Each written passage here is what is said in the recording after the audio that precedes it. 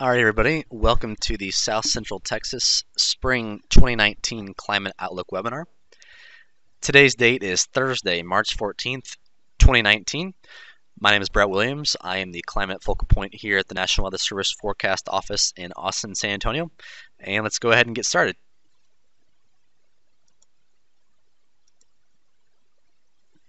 So before we jump into the spring outlook, let's take a quick review of what we saw in the winter uh, this right image here shows mean temperature percentiles for December through February.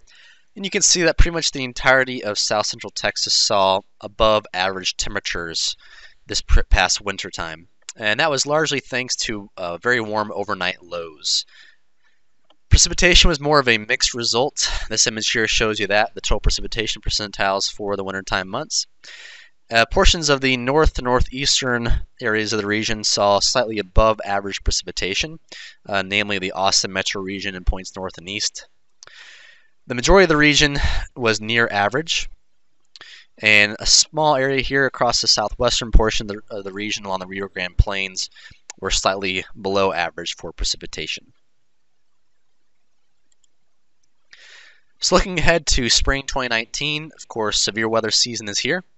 Uh, severe weather increases through May, with May being the highest risk month for hail, wind, and tornadoes. And then this image here on the right shows you precipitation by month for Austin, Del Rio, and San Antonio. And spring is not the wettest season of the year across the region, but it is one of the wetter seasons.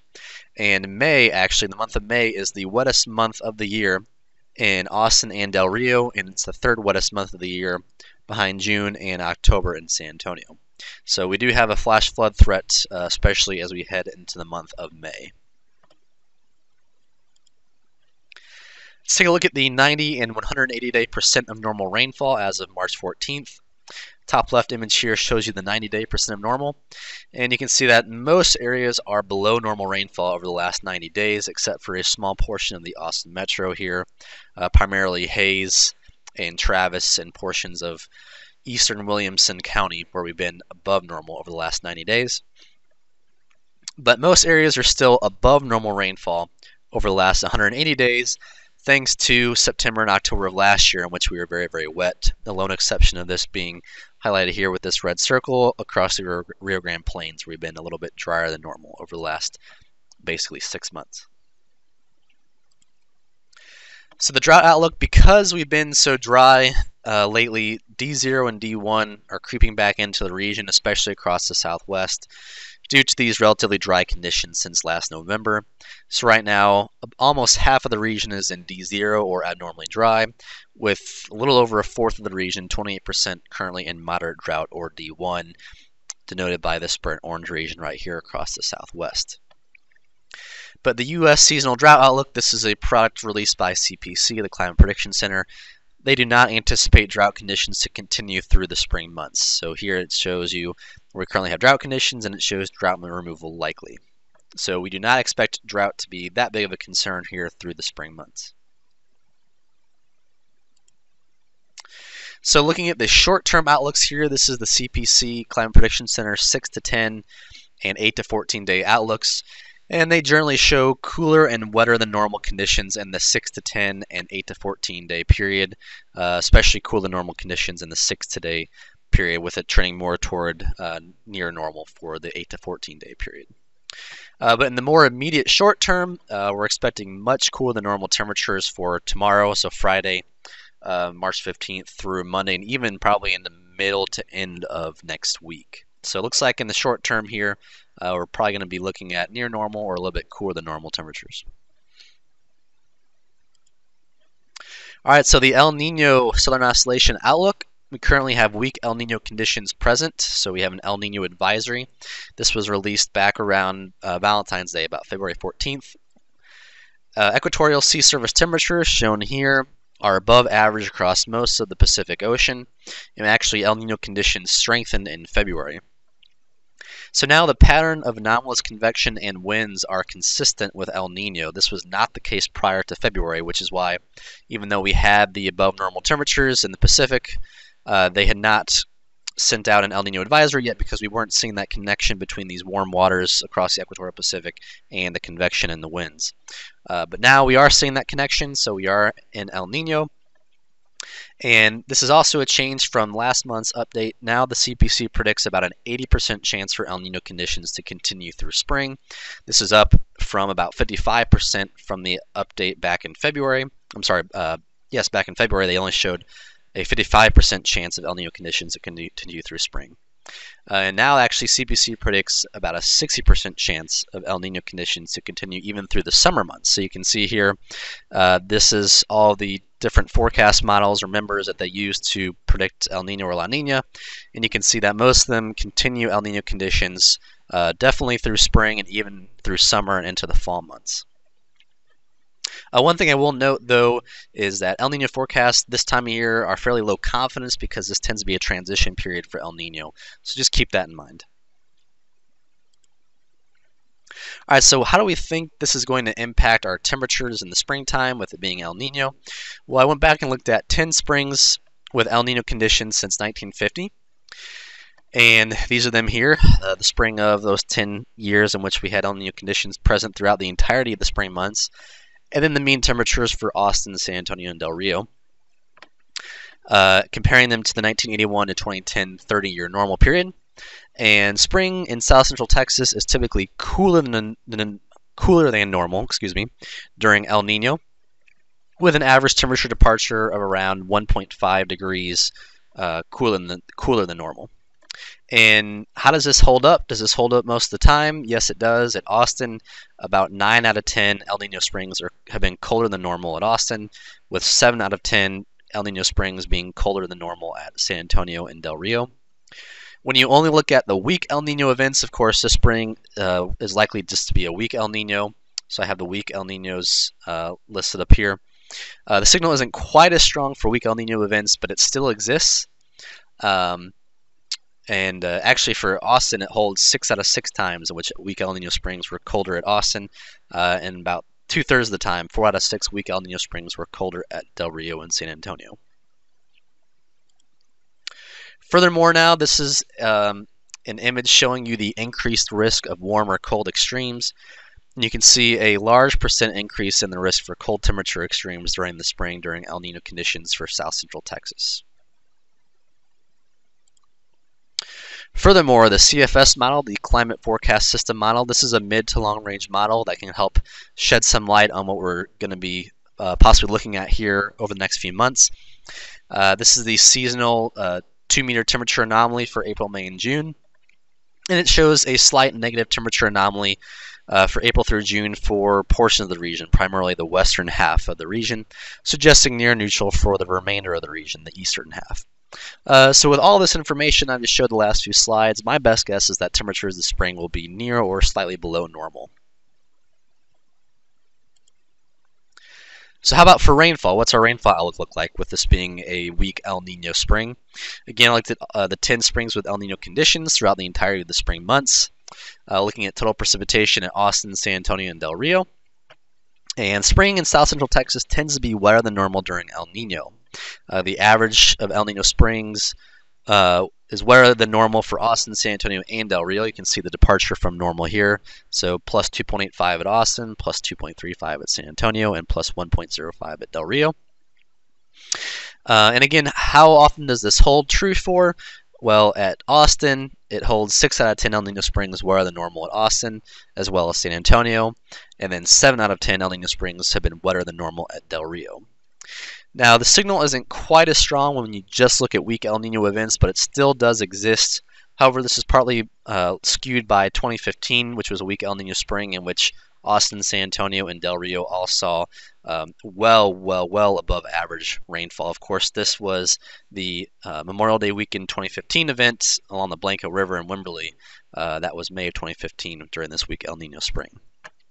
So it still exists, but the signal isn't quite as strong, uh, and it holds about 50% of the time at Austin, in which weak El Nino Springs were wetter than normal. Uh, only two out of the six at San Antonio did it hold, and four out of six uh, did it hold at Del Rio.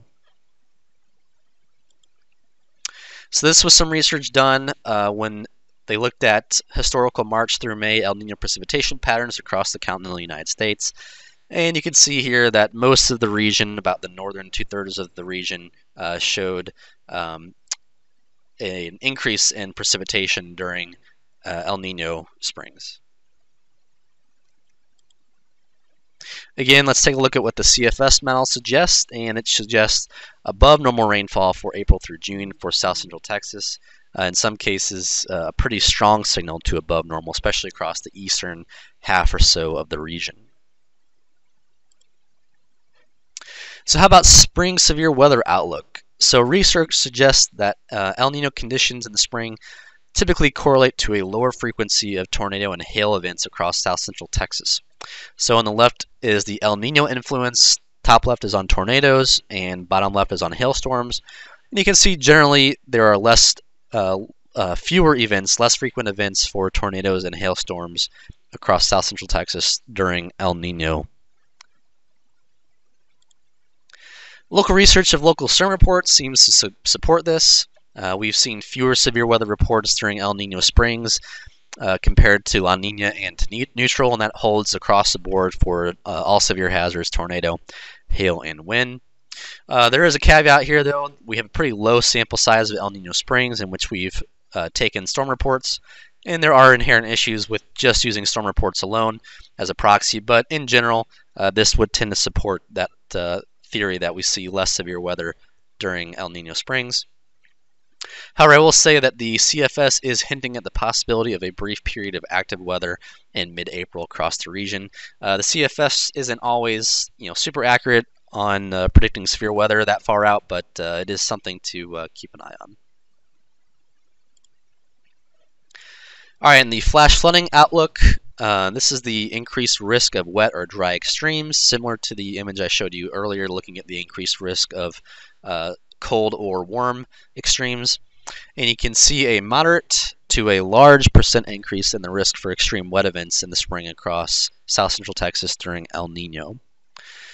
So you may be thinking, well, why do we have a lower risk for severe weather but a greater risk for above normal rainfall? Well, think of it as with El Nino, we see uh, favored toward more warm rain and widespread heavy rainfall events. So think of like mesoscale convective systems, more of your tropical air mass events when you see uh, really efficient rainmakers and really heavy rain events, and less severe weather setups that would favor supercells that would produce more hail or tornadoes, etc.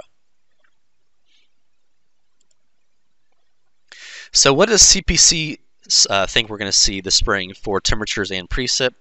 Now this outlook is a little bit outdated. It was produced on February 21st, so it's a few weeks old now, and this was before we saw El Nino conditions actually strengthening. Um, so I anticipate them to produce a new one pretty soon here, but uh, for this outlook created a few weeks ago, they showed no strong signal for temperatures either way for March, April, and May, so about even chances for above or below normal temperatures. Uh, but for precip, they did show odds tilted toward above normal precipitation for March, April, and May. So the spring fire weather outlook, again, earlier I had mentioned that we had D0 and D1 returning to the Rio Grande Plains and the southern Edwards Plateau, which of course is a concern. The greater the drought conditions, typically that correlates to more of a uh, fire weather concern. Uh, however, with that being said, this is the calculated soil moisture anomaly uh, as of a couple days ago. And you can see that across south central Texas, uh, our soil moisture levels are still pretty elevated, which is good news. And furthermore, the energy release component remains below average across the region. So this is the energy release component graph for the Central Texas region. And this is the energy release component graph for the Hill Country region. You can see that we are currently a little bit below average, which is good news. And the National Interagency Fire Center predicts near normal or below normal significant wildland fire potential for the spring. So this is that graphic for April. Uh, I will say that uh, it does show above normal uh, fire potential for Val Verde County, so across our far, far western portions of the region for April. And then looking at May, you can see that about the southern half of the region is below normal for uh, wildland fire potential, with the rest of the region at around normal.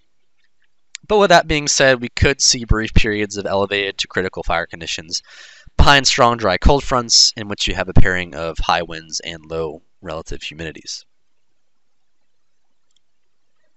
So wrapping everything up now with the impacts outlook summary.